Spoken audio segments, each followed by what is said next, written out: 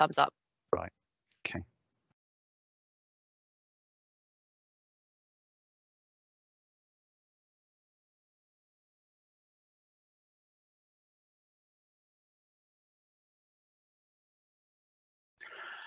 Hello, and good morning to everybody, um, and welcome to our final session in the Trustee Training Series. I'm David, I'm partner at Buzzacott, and I'm going to take you through this session.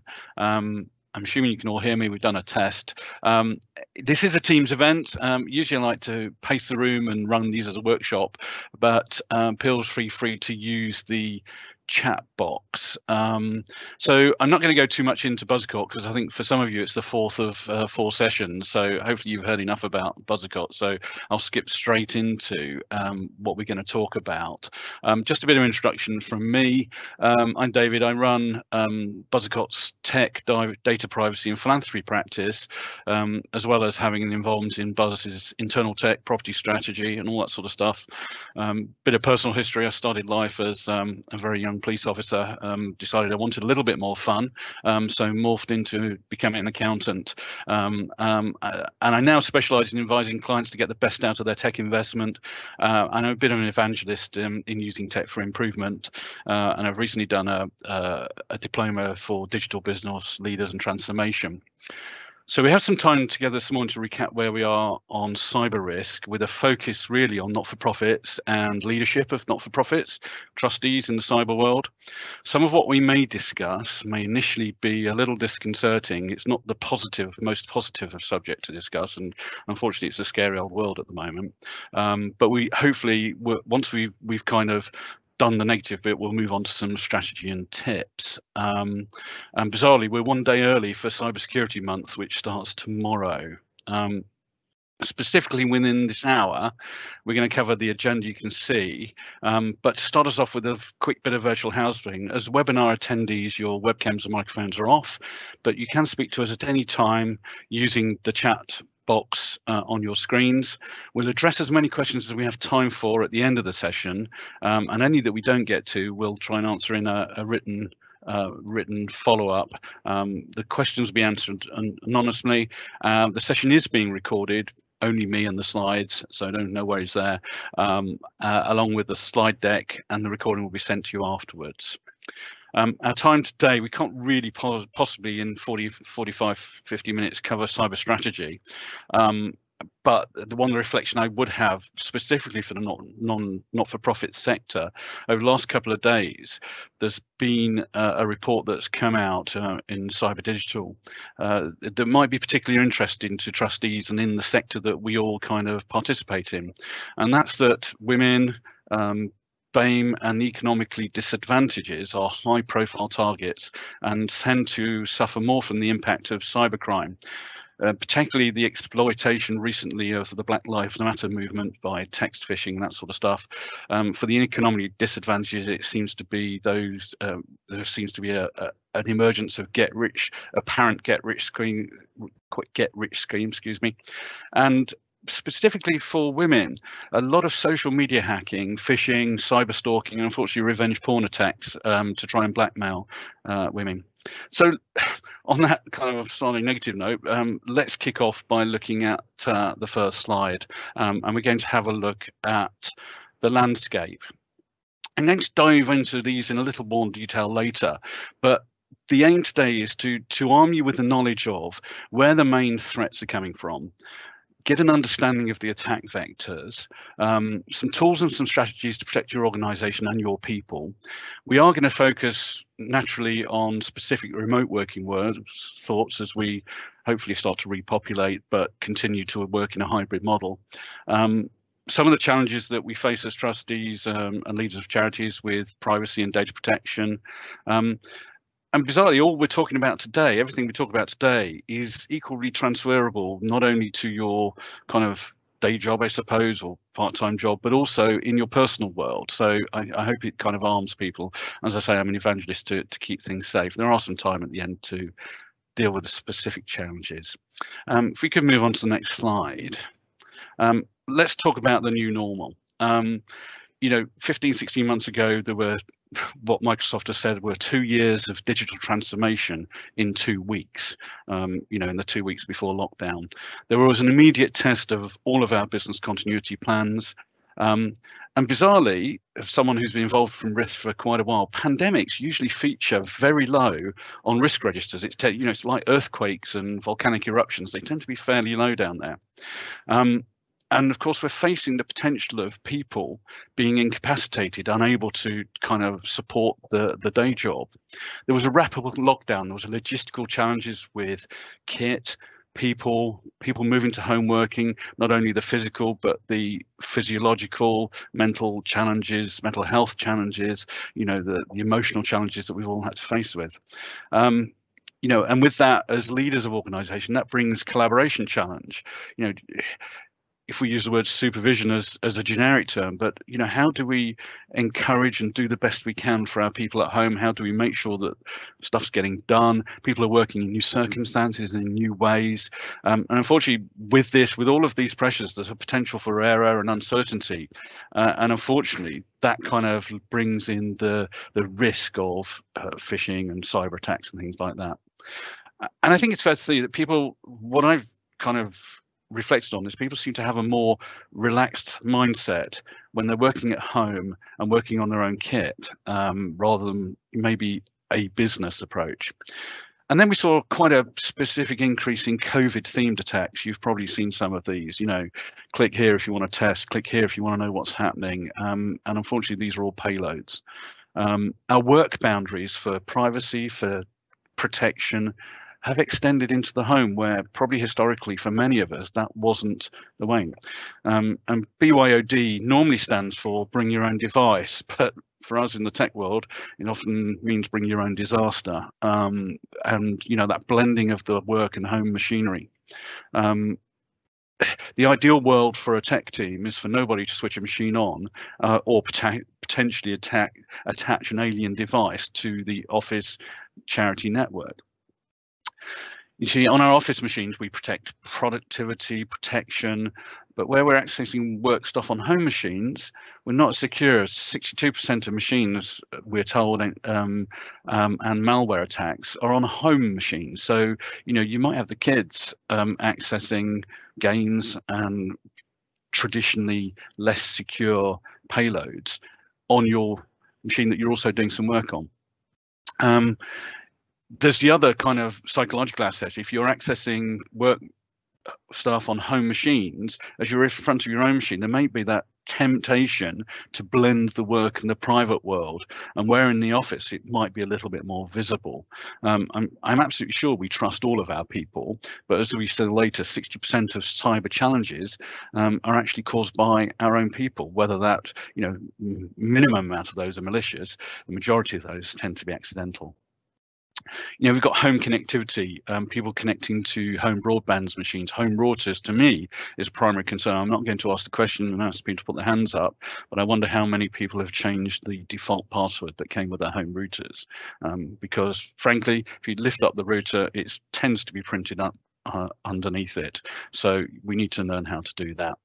We've got the Internet of Things, you know, the emergence, um, we'll see later, had the emergence of um, Alexa, um, Siri, that sort of stuff, multiple devices on our networks, ring, um, ring, um, got doorbells um, and things like that. These things are all connected to our home networks, all have the ability to be compromised, baby monitors, cameras, everything. Um, you know, we got some, we had a really resurgence of new applications, especially the communication ones, you know, Zoom, Zoom, you know, in, in our view, started off as fairly insecure. They've caught up, um, but we saw kind of historic Zoom bombing and, and ransom and that sort of stuff. You know, and my view is personal devices that you have at home need to have the same level of hygiene and protection as quasi corporate ones. They're twice as likely to be infected than corporate ones. Um, and of course, we've had the growth of shadow IT, probably necessar necessarily because you know we're all trying to keep the lights on, keep the day job going. Um, and how do you get it done? How do you get the work done? Okay, so let's move on to the next slide. Um, think, reflect on the kind of financial pressure. I think we're telling a little bit of a caller. Um, the only thing is, with kind of the pandemic and a quasi recession, it brings increased criminal activity. There tends to be more financial crime, you know, and unfortunately, we're seeing an, an, an industrialization of ransomware, ransomware as a service, and and you know what that means is, you know, it's becoming very cheap and very easy to buy a kit um, to do ransomware yourself and other people. Um, and unfortunately, as as our backup and recovery processes have seen to improve, we've she, we've seen a double down on the ransomware attack. It's not just about holding to your ransom, encrypting your data. It's now about extorting and blackmailing you. Right, we've got your data. If you don't pay up, we're going to publish.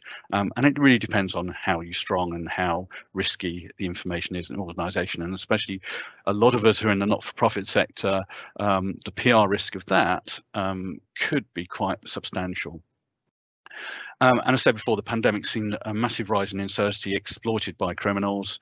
You know, and it's fair to say we've all had budgets reduced because of pandemic. We may have saved some occupation costs, but you know, we, we're having to focus on keeping the lights on keeping our people supported, managing reduced investment income potential, reduced donations, especially those that perhaps have, you know, during the lockdown had shops um, uh, and that sort of thing. Donation has has definitely reduced. You know, we've got reduced resources. People are incapacitated, um, expertise. They may not even be in the organisation. Moving on to the next slide on on confidence. Um, I'm galloping through the first bit so that we can think about take some more time on the second bit. Um, I think it's fair to say confidence in not-for-profit sector has is recovering from some of the scandals and the data and the operations in probably 2015 2016 and we're some years on to that. And i think naturally we'll see an uptick in public confidence for the not-for-profit sector because of the pandemic. We'll see you know people have turned uh, not-for-profit sector has um, as someone who's involved in philanthropy and supporting grant makers they've stepped in to provide immediate funding to deal with government lag. Um, however that has meant that there's a potential for fraud and cybercrime. You know, politically, we're going to talk later about, you know, I don't, I'm, an apolitical person. Uh, I don't like to talk about politics, but it does have an impact on uh, cybersecurity and crime. We'll talk, talk a little bit later about some of the attack vectors uh, and state-sponsored activity. We've kind of gone through Brexit and the US elections, which historically um, were a massive uptick in cybercrime and Twitter um, kind of modification of uh, results. Uh, I think the only thing on politics really to make a note of, and it may only kind of impact those of us who have international kind of operations. The UK's only got data adequacy for four years. When we were part of the EU, we had the same data adequacy as the rest of Europe, but um, it's something new. Uh, the EU has only given the UK adequacy for four years, um, and that's dependent on whether we revise UK data laws. And I think there's some plans within the UK government to really reform UK data laws. I'm hopeful and positive that they're going to be for the better. And as historically, we've been a forefront at the forefront of protecting people's personal data. I think there will be a focus on continuity and keeping the things going. Um, uh, and just to flag, it's not law yet, but there's going to be a new information commissioner. You know, Elizabeth Denham is the current information commissioner. She's standing down. It's dependent on government process. Um, the new guy coming in is ex New Zealand privacy commissioner. And It's bizarre. We, we Elizabeth Denham was the Canadian privacy commissioner, and we're now going to have the New Zealand privacy commissioner. Uh, he's an ex lawyer who's been practicing in privacy for some years. Um, we're not, you know, we're we're out of the U.S. election. 20, say 2016 saw an incredible uptick, um, and it's fair to say our politicians are notably, you know, naturally focusing all of their resources, perhaps on pandemic, um, post-Brexit world, and getting as many HGV drivers uh, as they can at the moment. Um, politically, state-sponsored, we'll come on to, but Chinese targeting of the telecom sector has been massive over the last year. You know, North Korea are mining cryptocurrencies, financial services businesses historically, and it's some time ago now, have had a had a hand in the WannaCry disruption within the health service and uh, um, political kind of environment. You know, industrial espionage is, is going through the roof. Vietnam are targeting automotive, China are targeting healthcare. Um, the mayor of in 2019, the mayor of New Orleans declared a major incident due to sustained attacks, and we've seen recent infrastructure attacks on water and power. Um, you can only under you can only really believe that that's state sponsored, disruption sponsored. Um, it could be organised crime. We don't know yet. Um, moving on to the next slide. Um, rushing to that. Demand and regulation. You know we've spoken about home working but it's fair to say there was a pre-pandemic shift to any time any place working and the the, the challenges that thing uh, that that brought with us. You know i always like to look at the what happens in an internet minute slide. Um, i've been tracking this for about five or six years. Um, it's amazing how you know a lot of our resources historically were in the in the kind of corporate or organizational world were protecting emails and networks and things like that. So amazing that the the, the the, the natural shift away from email and text messaging to the multitude of other communication tools. Um, this is a 2021 um, challenges. I mean, frankly, who'd heard of TikTok um, two years ago? By the way, it's a Chinese tool, um, and you know the, there are significant challenges on that. We've spoken about GDPR in 2018. Um, there isn't going to be an increased requirement to protect the rights of the information we hold. It, it, seems to be the forgotten kind of relative within the GDPR law, but you know GDPR says that if you're holding assets, you need to protect them adequately. Um, uh, the two main criticisms that we see coming from prosecutions um, from the Information Commissioner are lack of technology protection and lack of training, um, speaking to the, the people side of things. You know, we've seen regulation hardening the education sector over the last 12 to 15 months. We've seen a massive attacks, um, especially ransomware um, exploitation.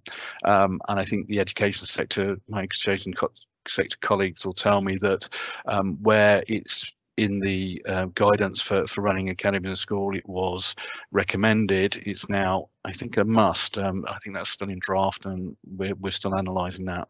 Significant refocus of, um, you know, historically it was about safeguarding, um, handling people's sensitive data. There's now, I think, a much larger focus on the education sector uh, and on cyber protection. Okay, let's move on to the uh, attack vectors. A um, little bit scary, some of this. Moving on to the next slide. Um, if you click on the first one, please. So organized crime, um, those of you of a certain age like me will recognize who this is. Cybercrime is very lucrative very organized and very cheap. Criminals can throw multiple attacks out using networks of compromised um, um, compromised uh, computers. Um, I spoke earlier about the industrialized on the dark web. You can buy a kit, all the code to do ransomware service, and we've seen massive increase in organizations that are providing ransomware as a service to any kind of organized crime state sponsor who and they're taking revenue share. So REvil, Lockbit, all those organisations. We thought REvil had gone away, but they, there seems to be their their website seems to have gone live again, um, which means that's the that's their method of publishing compromised data that they've stolen from organisations to hold you to ransom. Um, you know, a batch of compromised email addresses. You can buy a, as much as a, a, thousand email addresses for less than 50 cents on the dark web. Um, what we're also seeing is payloads in PDF, office file attachments you know as we're getting better at protecting the parameters we've moved a lot of us have moved to microsoft 365 and i have to say they're award leading kind of protection capability the criminals are finding other ways of getting stuff in and, and it's unfortunate that they only have to win once. We have to win every time. Um, and we spoke about the industrialization. It's now you know it's a safer more anonymized way of, of raising funds than perhaps selling drugs on a street corner or importing drugs. So that's where we are. You know, in terms of state sponsor, you know, it's fair to say the Chinese army has a whole division focused on cyber warfare, um, not focused on our own forces, focusing on guerrilla warfare. Um, you know, as I said before, North Korea was widely accepted as the architect of the WannaCry attack that took down hospitals, local authorities, and frankly, you know, we had people die as a result of that. Um, Russia has held widely that they were part of the Twitter attack during the 2016 presidential elections in democratic stronghold, trying to skew its history now, but it just anecdotally talks to the rainy day on the day of the election that Trump was gaining ground. Uh, sorry, that Clinton was gaining ground, um, and the Democrats had um, kind of got relaxed about whether they went out to vote and it was a rainy day so traditionally rainy days are not great for for voting turnouts um, there was a twitter storm um, galvanizing uh, the Republican voters to go out and vote for Trump, and we we saw you know a bit of a surprise, kind of like Brexit and Cambridge Analytica.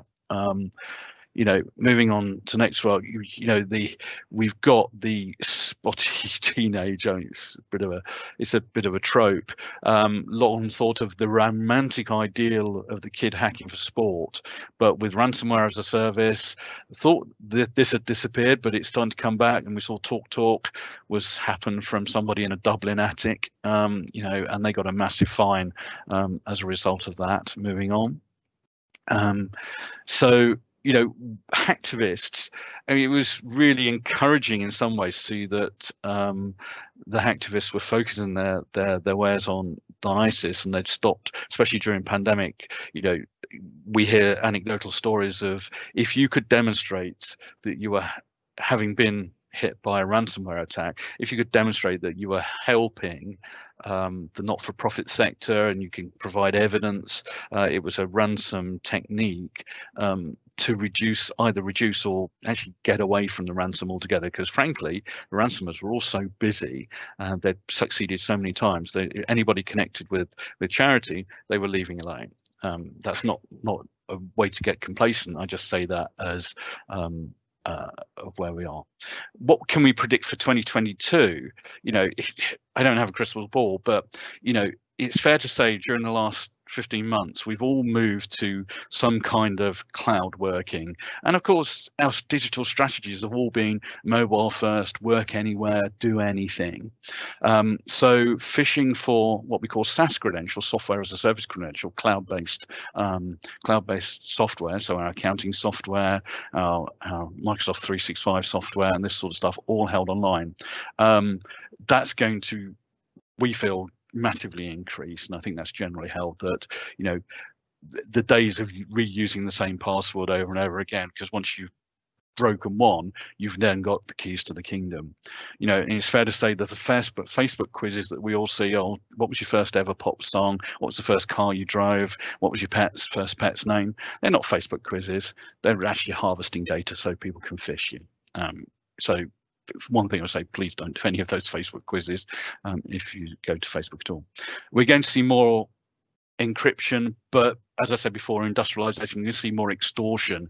Um, so that talks to segregation and network, which we're talking about yet, you know, not keeping all of your eggs in one basket.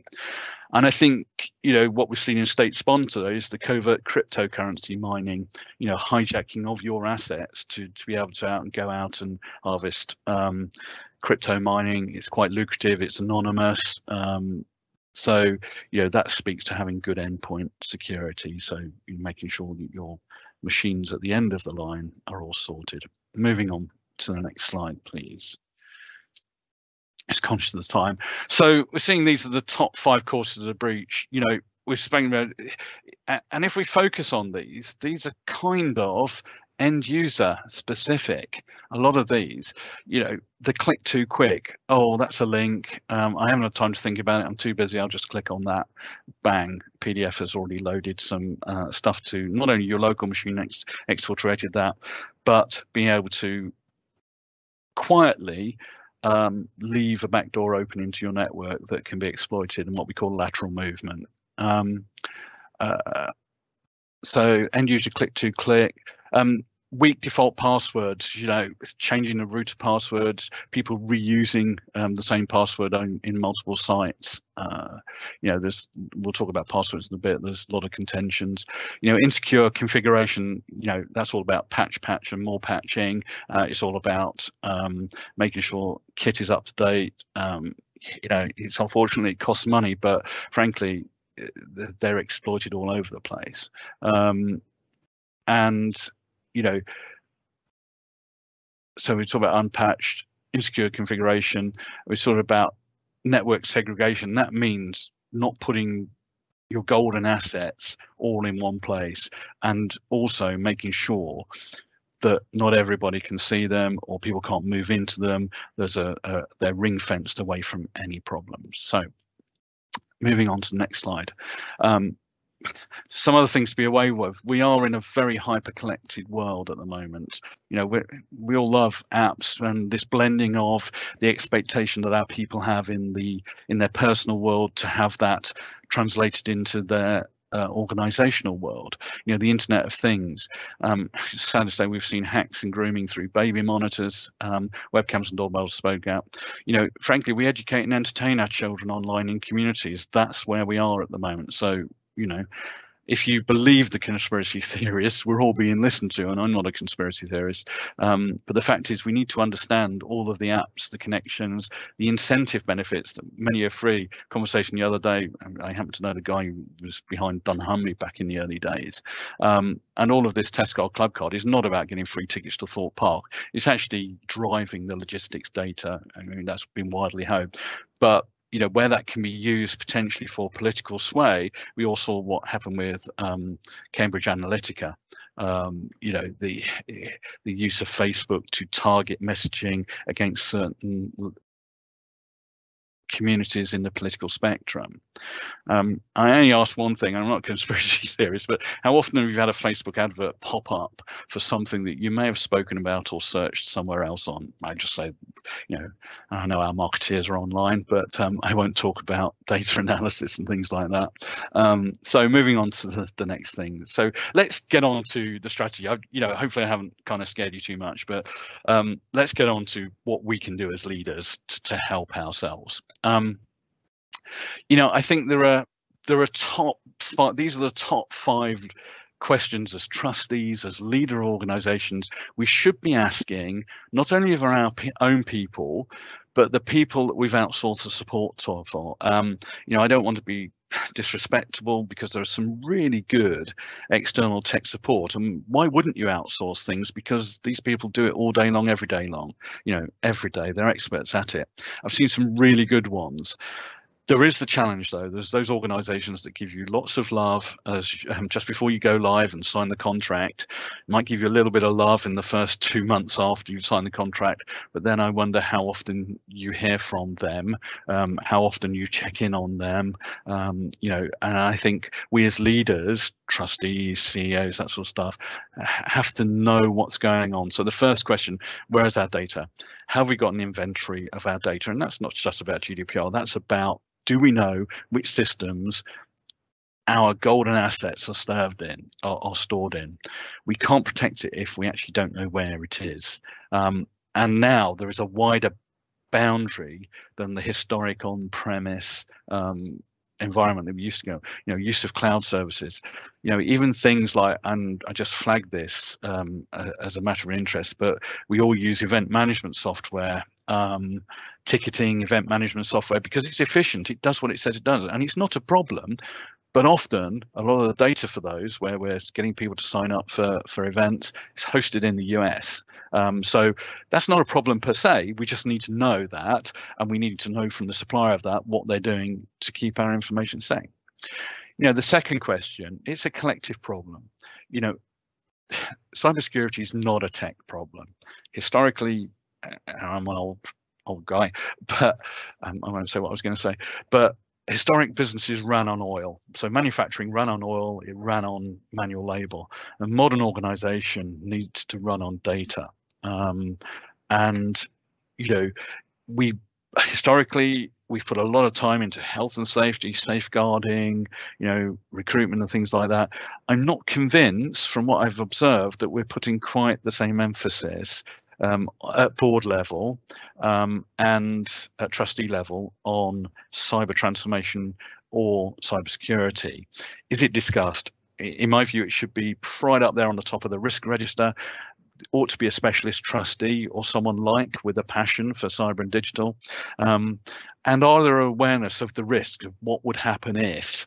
Um, you know, whether it's the challenges of operational, whether it's the financial impact of a, of an attack, or frankly now the reputational impact of an attack. Um, you know, if I think of some of the, the, the not-for-profit clients, there's a lot of sensitive personal data, people's abilities, sexual preferences, all of that sort of stuff that, that people work with. Have we all collectively rehearsed as a technology board or as a trustee board, not what we do if it happens, but what we do when it happens. What's our technology recovery? What is our PR plan?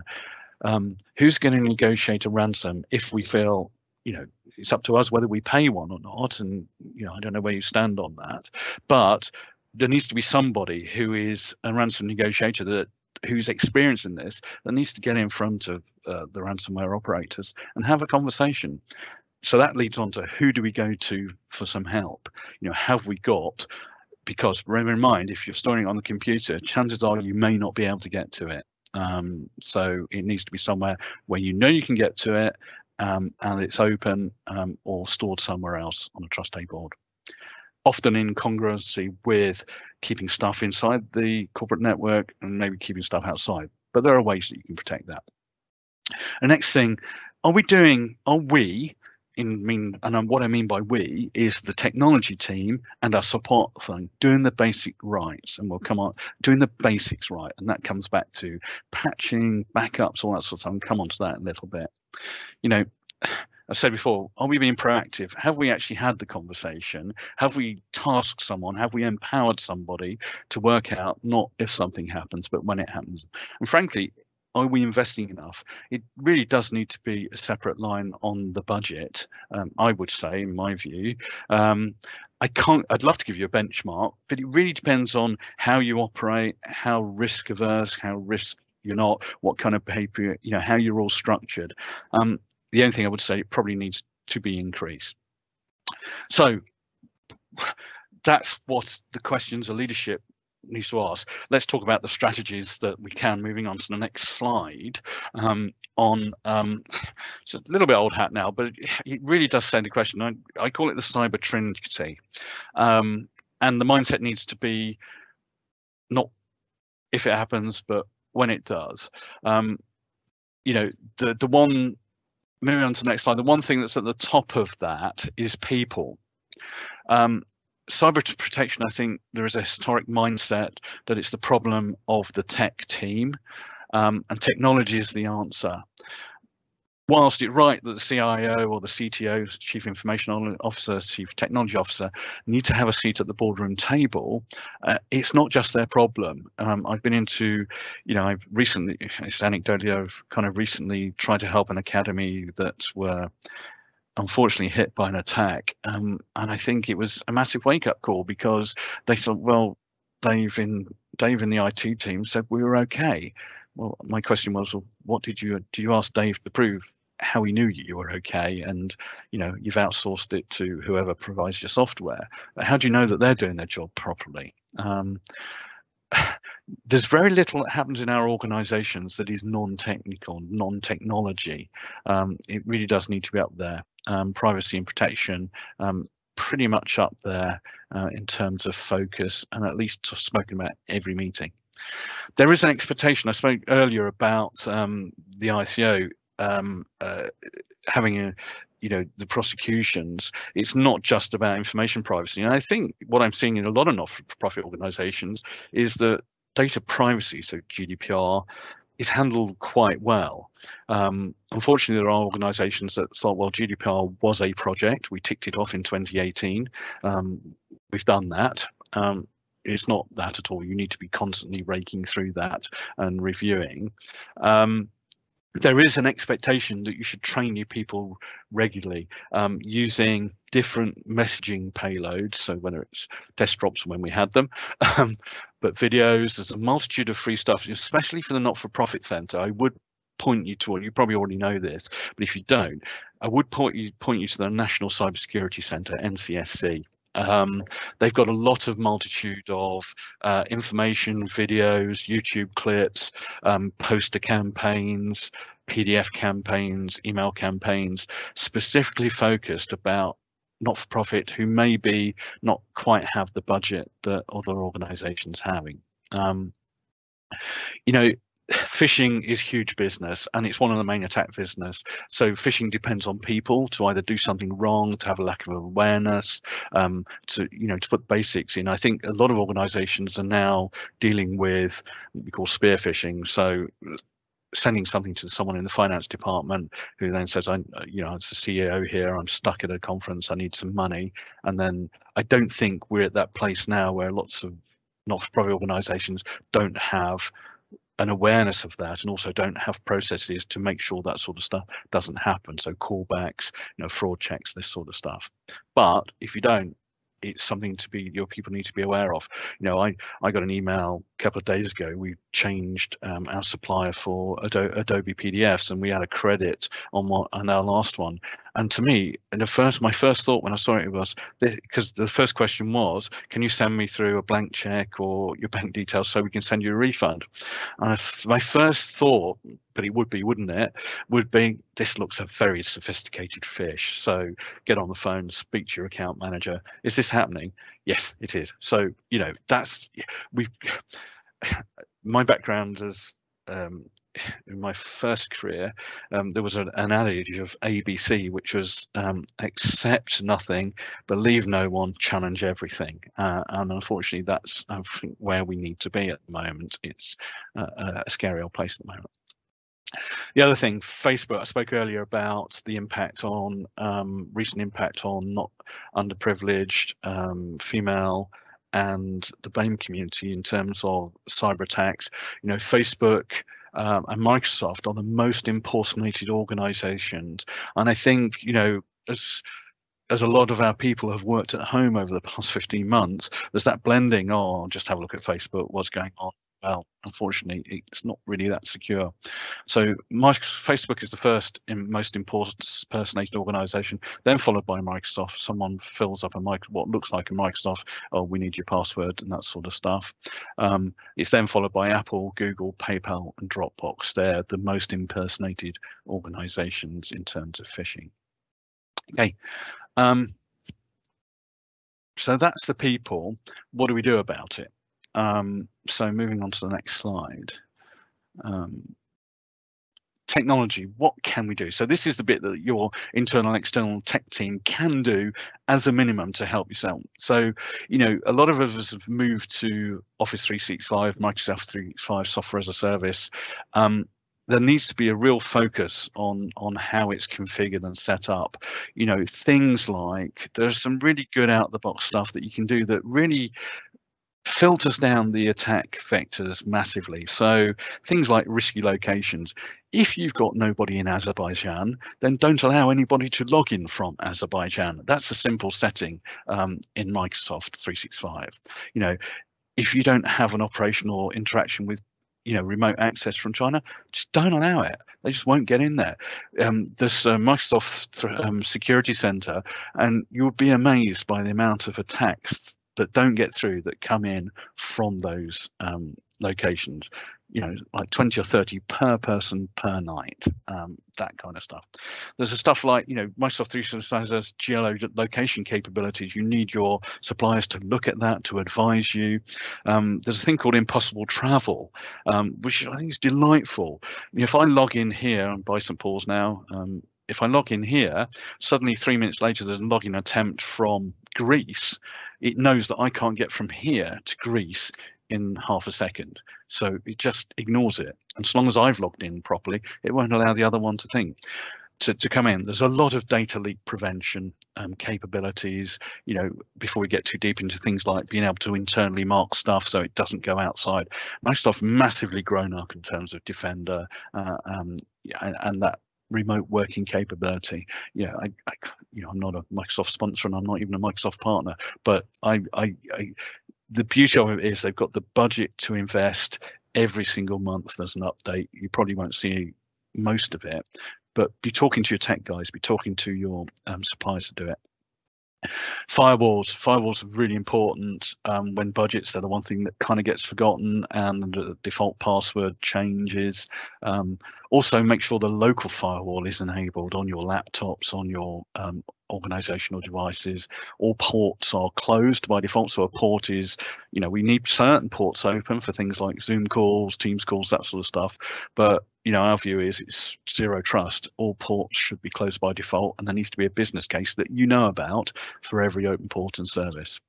Anti-malware, you know, traditional on-premise malware really doesn't in my view, doesn't react quick enough. We're seeing zero day threats, which is a threat that starts and ends in a day.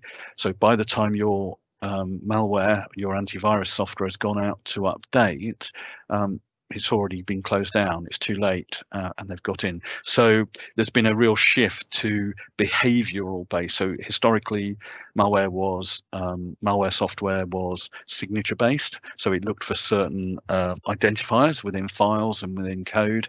Um, now it's shifting towards the more I don't, I talk about AI and machine learning, but that's what it's it's moving towards. So if um, your software antivirus software senses a change in behavior or a change of activity or people going to places that they haven't normally come in from or coming in from places, then it'll quarantine the machine by default until you unlock it. And that's the kind of behavior we've got to have in place um, to make sure. Um, Anti-spoofing, that's a good one to have. You know, we're seeing a lot of what emails that come through that look like someone's spoofed our internal email address, but actually when you dive behind it, it's not an internal. So, you know, why would I be sending an email with a funny address on the back to a colleague? I might be chatting on Teams or something like that. So I think, you know, you might want to quarantine by default, but you might want to keep an eye on that and certainly warn when it happens. And I think the big saver, and, and and this is a real challenge, and it's a challenge with the education sector where you know children can't keep phones in classrooms and teachers can't have phones in classrooms. But you know, multi-factor authentication has got to be. You know, we've been doing it for a number of years on banks. We do it by card reads and stuff like that. In in our view, it, it ought to be the default for any new a couple of things. Multi-factor authentication and single sign-on. Um, so you know multi-factor authentication is that um, you either have to put in a code or a facial recognition something over and above just username and password to something independent of what you're doing um, than the, the system in front of you. So um, you know that's what we talk about. Moving on to the next slide um, so that's what the tech teams do and some, some, some tips there. So the next thing is we've spoken about policies, processes and procedures, you know, practicing what happens um, when you get attacked. But the other processes and policies and you know people need to understand what's expected of them you know if you've got someone working for you they need to know what their boundaries are what they're allowed to do what they're not allowed to do have they are firstly are they aware of what you allow what you don't allow? Are they aware of how to keep things safe? Have they signed off against that?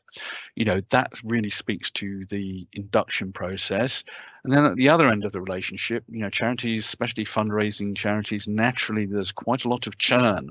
Um, people coming and going those organisations. So the key one in this is is not your starter process. Starter process is good to get people on the right footing, but it's actually the leaver process. And by the way, there's some funding um, benefit of doing that because as soon as you shut them down on Office 365, you don't get charged for that that account. Um, you know, it's a pay as you go kind of uh, service.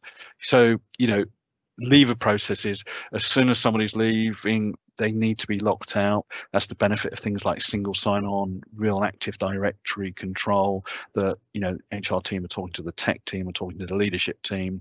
You know there's a process that as soon as someone says they're leaving what happens? You know i know it's efficient but temporary staff is is always a challenge because none of in the tech community we don't like unnamed account like receptionist at or temp at or worker one at um, in terms of their account because you can't audit who did what and when. And then if something happens you can't forensically examine who it was who actually did it where it came in because you've got this generic kind of login account. You know we we've got to stop doing that frankly. Um, and the other thing on people, you know, it, it, came out this morning. I've got to credit Charity Digital for this, and it wasn't advertorial. So, uh, but the message is clearly there. Um, that their opinion is that the board, digital leadership, is kind of holding back digital transformation. 62% of organisations plus do not talk about digital transformation, don't understand it. You know, we're all on a lifelong learning process, but you know, frankly, it's a world that I wasn't brought up with. I've managed to enjoy, understand it, and kind of scare myself rigid sometimes because it's partly my job. But you know, we've got to get that kind of implementation on there.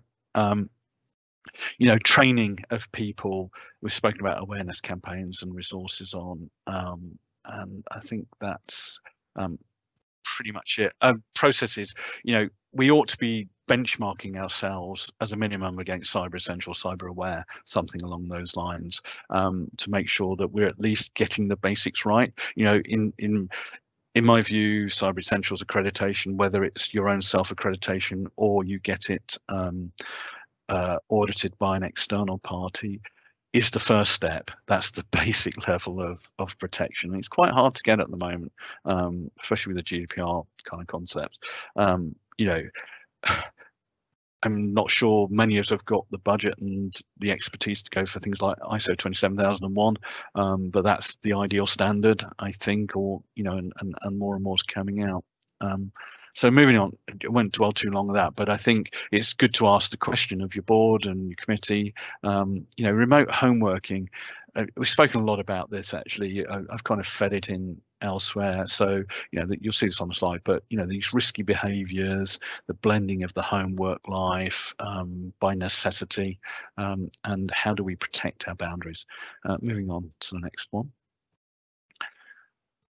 Um, when we return, um, some of you may have returned already. We're seeing a number of our clients, some of our clients, some of my clients um, in the um, trust and foundation sectors actually given up their office premises and they've gone for full home, full remote, or pretty much full hybrid in that if they need to get together, they'll go and hire someone because that's cheaper than um, spending central London footprint. Um, you know, when we do go back, I think it's time to firstly congratulate ourselves that we've managed to keep going through the pandemic. We keep keeping our people safe, and uh, and then you know, but it is that really once in an almost business lifetime opportunity to almost start with a new blank sheet of paper because that's where a lot of organizations are you know it's a, an approach i take with most projects uh, Buzzacott is it's always a chance to actually i don't care what happened before now is a new day a lot of us especially property strategy, you tend to be tied into longer term leases um, if you're not they're not very good premises. Um, so this really is a, uh, an opportunity to look at the future strategy of the organization. You know a review of our policies you know is our induction policy right? Is our information security policy appropriate for both the home and remote working capability? What's our physical security look like? You know we've we've coped with the 15 months of home working. We're starting to repopulate starting to regenerate um, how's our physical security looking? You know that i know tech guys get very nervous because you've got these you know they don't want external inverted commas alien devices on their network but unfortunately it's a fact of life now. Um, you know, I think physical security updates, you know, I was reflecting something here the other day that by necessity, because of airflow and things like that, we probably unlocked a few doors. Um, do they still need to be unlocked? You know, that's the physical security side of things. Um, you know, we allow people to bring your own device. What's our future policy? Do people understand what we expect and what we allow them to do to get access to our our network? What do they have? What protocols do they have to do? Do that sort of stuff. Um, you know organizational change registers. You know i think we there was one massive test of our business continuity plan and that's when you know the two weeks before we thought a lockdown was coming um, that happened. But i think it's time you know what does it look like now is the old business continuity plans that everyone put up on the shelf and gathered dust are they still appropriate now? And can you get to them if something happens? You know pandemic's got to rise up there. You know what do we do if key personnel are struck down? And sadly you know we all know where the end result of that can be. Um, and you know training it's a time you know it's a great opportunity to reinvigorate people with training you know with, with the benefit of the last year. Okay moving on uh, to the next slide. Um, a quick word on digital leadership. It's only because I'm quite passionate about digital leadership. Um, you know, we said earlier there are change, you know, opportunity. Digital leadership needs to have a seat at the board. You know, I'll come on to what makes a digital lead, what I think makes a makes digital, what's commonly held makes a digital leader. Um, but but actually, what should we be talking about you know, we've for those of you who are fundraisers, um, fundraising capability has gone through the roof. Um, you know, click to donate. Pandemic people seem to be more philanthropic minded um, which is great because we're all hopefully trying to take care of them.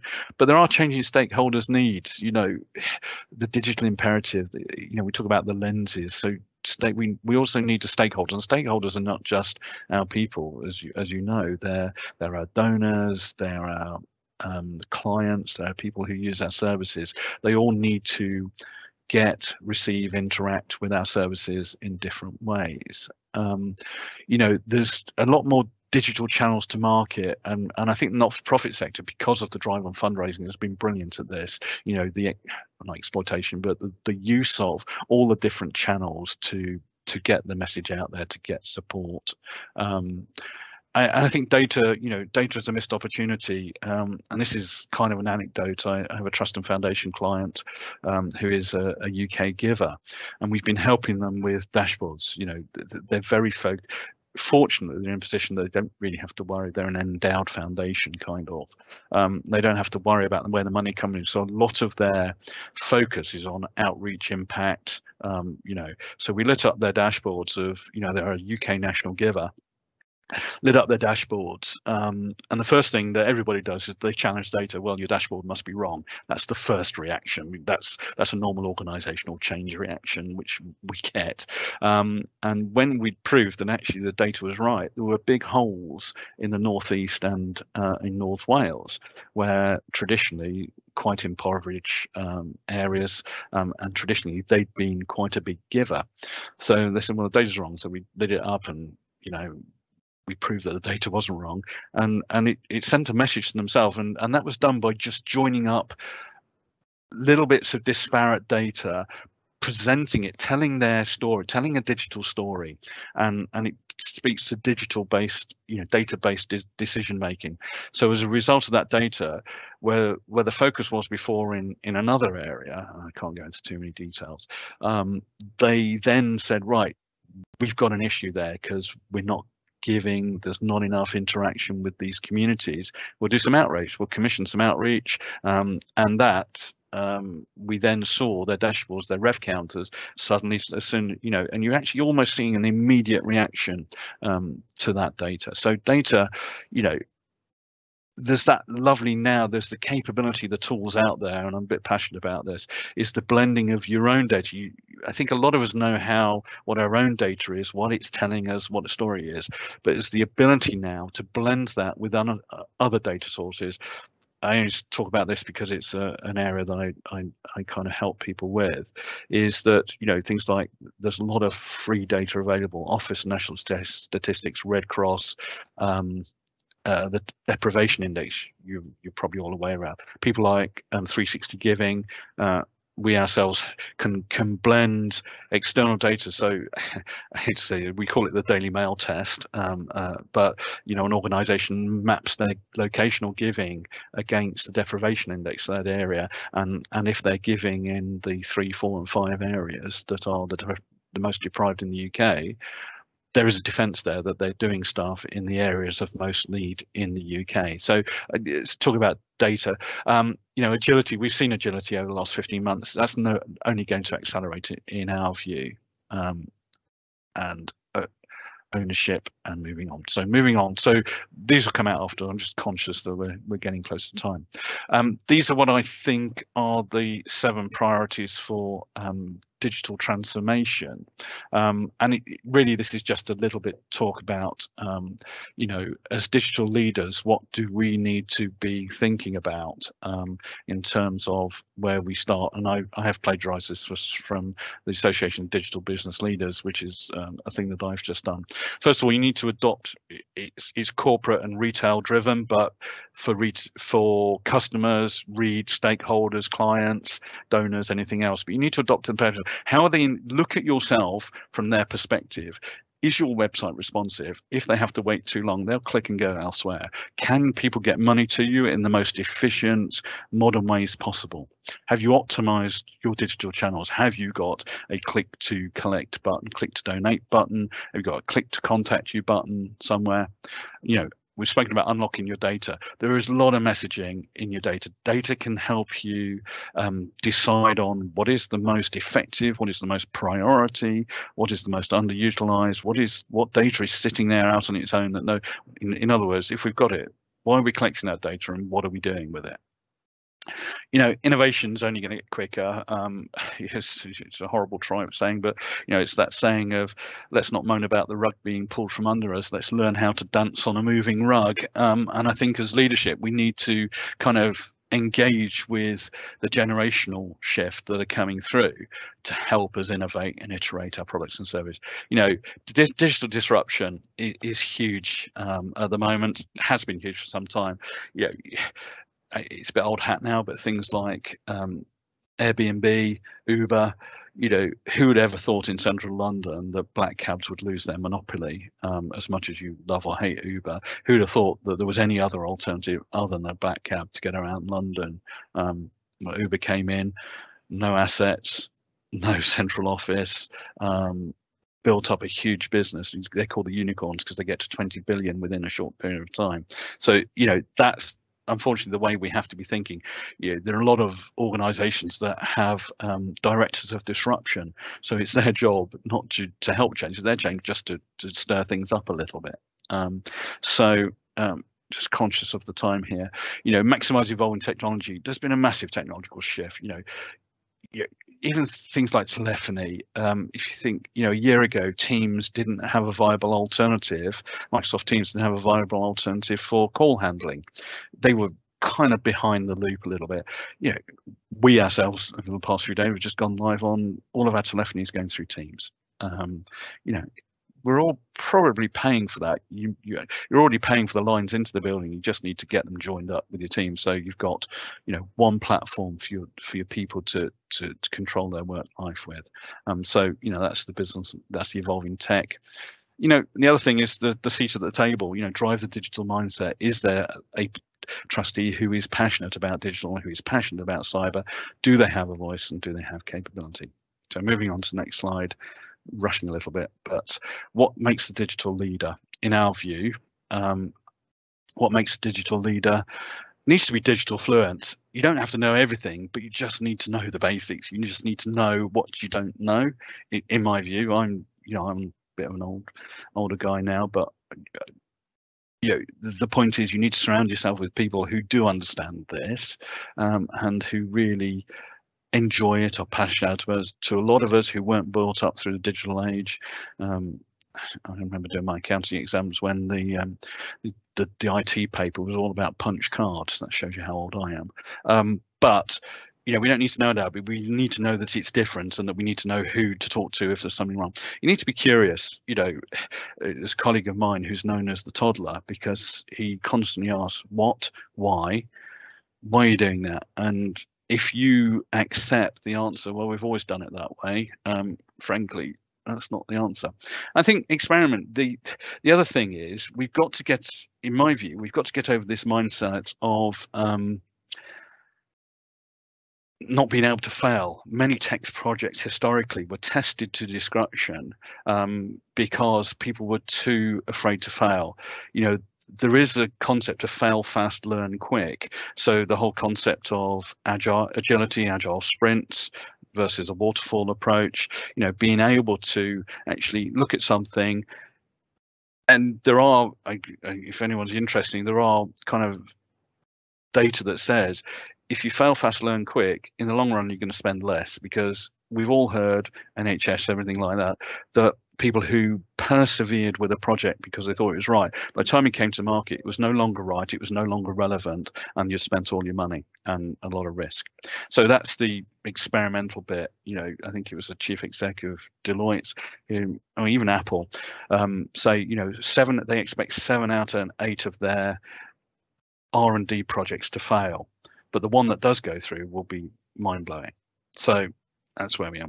Um, compliant, you know, we're all subject to um, information commissioner, cybersecurity, kind of audit things like that. So you know you've got to have an eye on compliance. We can't. You have to take that seriously, in my view. You know you have to protect people's assets. There's a lot more visibility. There's a lot more channels for people to ask questions and complain. So sorry, that was a ramp, very quick ramp through um, digital leadership, cybersecurity, um, and uh, I, I'm happy to now move on to the questions. If you've got any questions, um, I'm not saying I can answer them all today, and we are running a little short on time. But if you've got them, the, the team here have been um, looking at questions um, and just kind of diving into a few of them now. I had the wrong screen on. Okay, so got a question about the Information Commissioner's Office uh, about the data protection fees that they charge. What is the fee for, and is it useful to get it, even though the charity could be exempted from paying?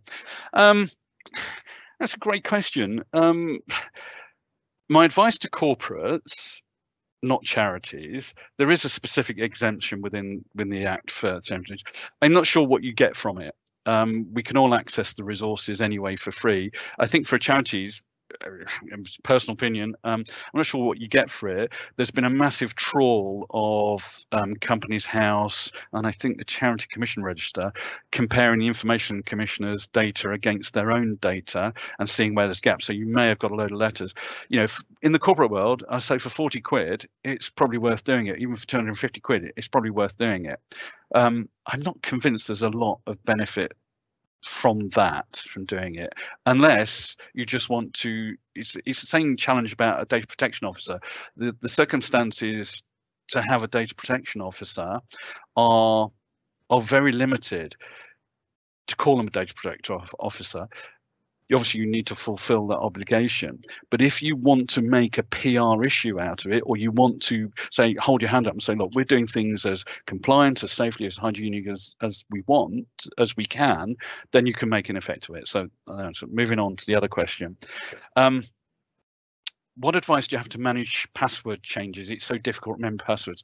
Well, so a number of things there. Single sign-on is awesome. So if you're within the organization, most modern cloud software, internal software have what's called single sign-on. So the only software you ever have to remember is the one that gets you into your corporate thing. The beauty of that is as soon as people leave the organization, their account is shut down, therefore their single sign-on is shut down. So if they are using cloud you know Dropbox or something like that, and it's got single sign-on. As soon as they leave an organization and you've um, suspended their account, they no longer have single sign-on. So that's one thing in terms of single sign-on. The other thing is what I use um, I think it's fair to say Edge and Safari. So Edge is the latest Microsoft browser. Safari is the Apple browser. All of them have have improved their capability in terms of being able to remember passwords for you and also to tell you if your password has been seen in a breach. I personally I use those, but I also use um, a password keeper. There's things like LastPass, OnePass, eWallet, that sort of stuff. So that's all I can say on that. Um, should you use a suggested password that's generated? Yeah, why not? Or get them, or do it again. Generate another one. You know, it's going to be stronger. You don't have to remember it. You know, one word on passwords is the there's an old adage, the the three things adage. So you sit in your you sit in your seat and you look at three things in front of you that no one else will know. So I'm sitting here. Sorry, there's a bottle of champagne above my desk. So um, it could be champagne, folder, um, and photo. That could be your password. Um, so it's making it difficult. So don't use your mother's maiden name. Don't use your cat, your first cat, because as we've seen on Facebook, that can be phished. Um, so how do we protect, anonymous question, how do we protect files held in the cloud? Conscious of time, but I'll, I will keep going for now. Um, how do we protect files in the cloud? Well, I think frankly, if stuff's in the Microsoft Azure cloud, so if you're using Microsoft Azure, it's got the same protection as Office 365. You can put multi-factor authentication and starter leaver processes. Um, they're constantly protecting your perimeters. There are security packages that scan the cloud. They're not cheap for, for not-for-profits. Um, that sort of stuff. Could I please report the Organisation for Non-Profit Cybersecurity, NCSC? Yes, it was. It's the National Centre for Cybersecurity, NC I, know it as ncsc.org, uh, but it's the National Centre for Cybersecurity. Um, government's put massive amount of money into protection now. They kind of run GCHQ, but they're good. Um, elements involved in getting Cyber Essentials certification, get in touch with me. I'll run through that um, and, and, it's not sales pitch. What I've done with a lot of organisations is I've done a high level rather than the intrusive review and and getting problems. I think the first thing is is to do um, a gap analysis, how close or how far away from it. Um, so my suggestion is to do that first to see whether you would actually get it, um, and that can be quite efficient because if you're miles away and it needs every single laptop being replaced, then that's something that's more important perhaps to focus on than just getting cyber essentials. So get in touch. We can help with that. Um, insurers willing to provide cyber insurance to charities. Um, unfortunately, and this is anecdotally, um, and it's been seen by observation, um, the insurance companies all been hit by ransomware. So um, insurance, there's two schools of thought. If you've got it, then it's great. It's becoming expensive, especially over the last 12 months. Um, there is an argument they've all been hacked, so it's, provi it's provided a nice shopping list to any potential hackers. So the first place people go is to those that carry insurance. So yeah, that's a decision that you're going to have to make yourselves. Um, how how just running through the questions. How would you determine a system as aging infrastructure? Well, you don't have to determine. Microsoft will tell you. So things like Server 2012, um, Windows XP, you know, keep in touch with the Microsoft site. Um, they are the guys that tell you when things are going out sport. So I think it's the 11th of October, anything that's got Silverlight in it, and Silverlight was the next big thing. I'm so old, I remember Silverlight coming in. It was the next big thing. It was going to revolutionize our life. Um, but it's going out of support as of the 11th of October. It will no longer work. Um, so if you've got Silverlight in it, stuff just won't work. Um, so um, how can trustees encourage challenge prompt IT leaders without annoying them? Brackets, I'm an IT leader. Awesome question, Paul. Um, um, I think as with all things, it's about having a conversation. It's about having a seat. It's about listening to people. You know, we we engage and employ both our external, you know, external supporters, our internal tech people, because they're experts. They know things that we don't know. So if we're not going to listen to them, if we're going to push our own agenda, um, you're going to be hostage to your own fortune, frankly. I think it's giving them a seat at the table, having a conversation, knowing what questions to ask, listening to them. Um, there was one organisation, it was a lovely convent in, in southwest London. They were really good at what they did. And bizarrely, for a change, I was so impressed by their external tech support team and I just frankly act as mar- I acted as marriage broker. So list did the translation because let's be faced, you know, I'm not a tech guy, but tech guys don't always speak. They speak in ones and zeros. Sorry, joke. Um, but so I think sometimes to act as a marriage broker or a, relationship broker um, and a translator, you know, that was a very short conversation. It was half a day with those two organizations sitting in a room, frankly saying, well, you're saying this, I agree with this. Convent, you need to do this um, or this is the impact if you don't do it. It's up to you if you accept, transfer, mitigate, deny the risk. That's up to you. Okay.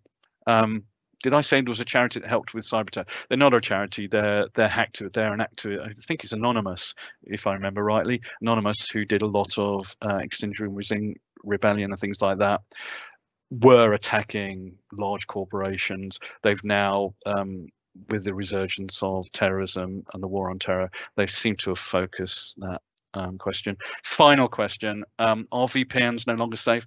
Yes, they are. Um, the latest version, as long as they're patched, updated, controlled, um, they deal with behavior. They're multi. If you haven't got multi, I, I really encourage you to put multi-factor authentication on them. Um, you know, if if your supplier hasn't got MFA on your VPN. So, you know, the ability, so if I log into our Buzzacott VPN, I have to have my mobile phone because it needs my face. So I start off on the computer, something pings up on my phone, I look at my phone and I'm in. but I can't get in unless I do that. And there are other alternatives like texts, messages, landline phone calls with codes and stuff like that. So they are safe, but as with the patching um, configuration, they need to be up to date, patched, controlled, regularly reviewed. You can't just leave them. They've got to be in focus. And if you outsource your support, if your supplier isn't talking to you about that, then I'd be a little bit disappointed. So drawing to a close, we're about 20, little bit over. Um, don't seem to have any more questions. Um, so all we're saying is thank you for your time. We'll follow up with the slides. Uh, it's been lovely to you. I hope I get a chance to meet you uh, in the future. Please do get in touch if you need to get in touch. Thank you and good morning.